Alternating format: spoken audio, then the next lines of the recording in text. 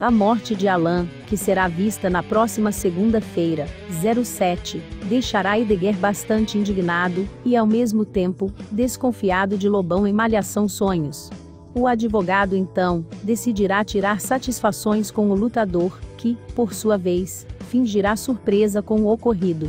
depois de ter proibido seu aliado em falcatruas de ir até o encontro dos irmãos na Pedra do Índio, o pai de Henrique aparecerá de surpresa na academia dele, para entender o que aconteceu. Eu te avisei, eu te avisei Lobão para não tomar nenhuma atitude sem a minha autorização, gritará o careca, pegando o antagonista pela camisa.